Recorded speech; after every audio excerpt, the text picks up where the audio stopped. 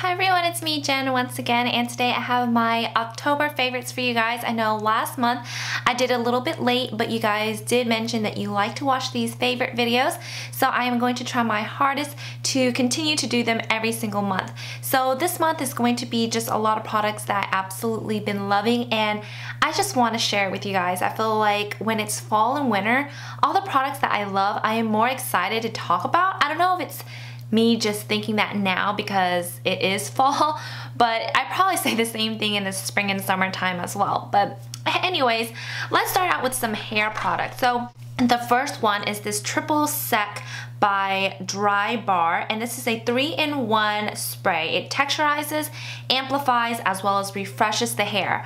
I have been absolutely loving this so, so much. You guys know how obsessed I am with different dry shampoos as well as texturizing sprays. But I've been really, really loving this because it is so awesome. Um, what I like about it is that I can use it on clean hair and it really adds like this dryness that is kind of like whimsical to the hair and it keeps the hair from getting oily throughout the day. Now what it does is that it texturizes, amplifies, and refreshes your hair. You guys know how obsessed I am with just basically any type of dry shampoos, any texturizing shampoos, and you guys know I love my volume. So I have gone through so many loves throughout the time with just different type of dry shampoos. But this, you guys, is the best one I have ever tried. And the reason being is that I like to use it even on my really clean hair. Just because, you know, when your hair gets kind of comfortable and it's kind of in its shape, throughout the day it gets kind of flat and just stick together.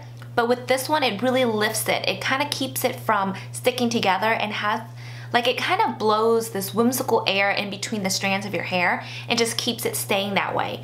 It's really hard to describe, but it really makes the hair feel like it's more volumized and it just kind of flows and bounces a little bit better.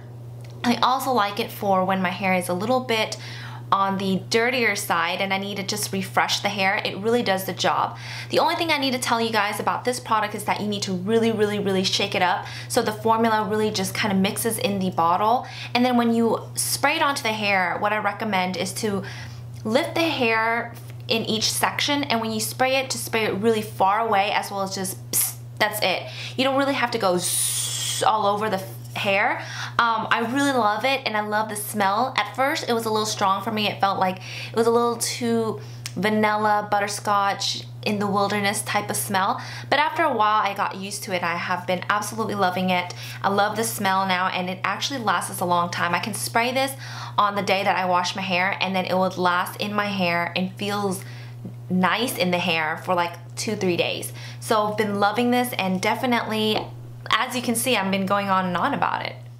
Alright, so the next product is a hand cream. So since now it's getting a little drier and because of the Ebola scare in Dallas, I've been washing my hands a lot more at work. And so um, I've been wanting to use like a type of hand cream that's going to help with my with moisturizing my hands. So I've been really liking this um, Caudalie or Caudalie hand and nail cream. It smells like oranges and just really smells citrusy and fresh. But what I really love about it is that it applies really silky on the hands and it doesn't leave any type of oily residue. But after you wash your hands, you can still feel that silkiness in the hands. So it really does absorb into the skin.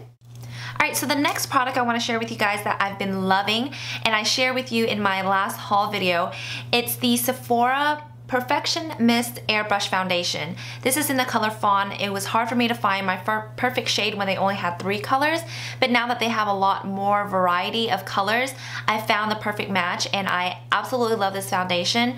Um, I did use it two different ways where I actually sprayed it directly on the face as well as just having it on the back of my hand and using a brush with it. But I noticed that this looks the best when you just spray it onto the face. It definitely gives you that airbrush look and it gives you that flawless, beautiful look. I think nothing can really replace this uh, in my opinion and I really really love it. I have tried it with flash photography.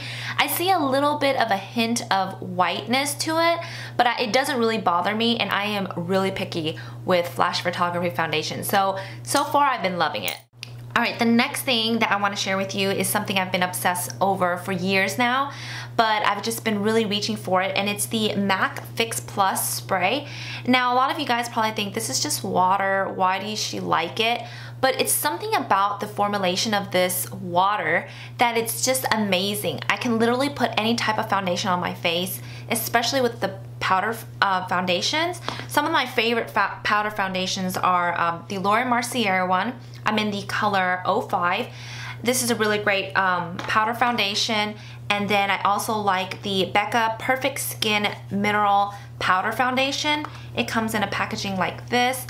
And then the last one is the Studio Fix. Now the Studio Fix is going to give you the most coverage out of a powder foundation. And what I really love to do is either put this on the face first and then just spraying this on top.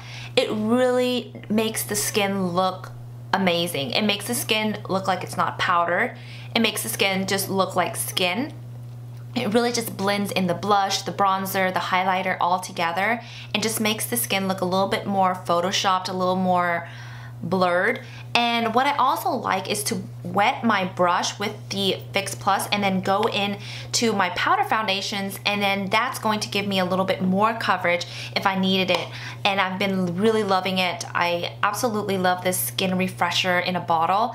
It's like a magic potion. Alright, so the next items that I want to talk about are some lip products. Now you guys know I love lip products. Um, on an everyday basis, I don't wear like these vampy lip colors or anything like that. So I've been really liking the Dior um, Lip Glow. This is just like a lip balm that has natural tint, meaning it looks like this, it looks clear, but on the lips, depending on the pH of your lips, it kind of changes to a really beautiful rosy color. I really like that just because sometimes I wear a, a turtleneck sweater or something that I don't want my lipstick to stain. And because this has no color, even though it gives you color on the lips, it's a great product to wear whenever you have those scarves and everything going on for the fall time. Speaking of like a natural everyday lip, I've been really loving this um, Perricone MD No Lipstick Lipstick. This is a really great color. I feel like it's like natural, like your lips but better type of lipstick. But it does have color so it does transfer so it's not one of those great ones where you can wear with like you know your white shirts but overall I really like the formula and I love the color I really like those natural color lips now moving on to some more fall appropriate type of lip colors. This is the color that I'm wearing right now. This is from the NYX Simply Vamp Lip Cream line. Now you guys already know I did a red one. I did the Simply Red collection review and I'm going to be doing the Vamp as well as the pink and nudes all combined together. And I've been really trying it to really you know, kind of test it out and see what I can say about it and review it for you guys. But so far, I'm loving the uh, the number five from the Vamp collection, which is in the color Covet. Now, this is the color I'm wearing. It's a really gorgeous purplish with a hint of red. But what I really like that I was really surprised about is that this actually has a hint of shimmer to it, like a hint of reddish um, burgundy type of shimmer to it. And it applies on the lips so beautifully. It gives your lips a little bit of more dimension, makes it a little bit more wearable for those who want to wear a vampy lip but are afraid of that flat matte look. I really like it actually. I tend to not like shimmery lipsticks, but I love that one. Now the other one that I've been loving, and I think I've been loving for years now, is the Tom Ford Crimson Noir number 11. This is the most perfect red color for the winter and fall time. I absolutely love this color, not only wearing it just full on, but I also love this one as a stain where I can just tap, tap, tap onto the lips and either just put it on for a little bit. By the time I'm finished with my makeup, I can just wipe it off and it leaves this beautiful, like cherry eating type of stain on the lips. And I absolutely love that. All right, so the next product that is also a part of the lips type of um, products I've been loving is this, which is the MAC chromagraphic pencil. And this is in NW25 NC30 and I've been really loving this just because I've been wearing a lot of these bold colors. And I find that yes a lip liner is going to help with just creating that perfect crisp line. But I also like this because it's that my my skin tone color type of pencil and I can just literally clean up the edges and just make the lip stand out a little bit better just because this is like the color of your skin.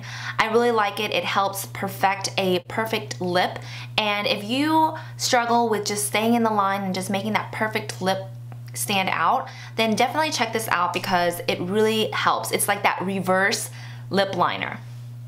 Alright, and the last product I want to share with you guys is something I actually just bought, but I've been loving it, and I've been loving some of the products that are from this line, so I can actually say it's my favorites for this month, and it's the Hourglass palette, um, blush palette. This is so gorgeous. Look at this.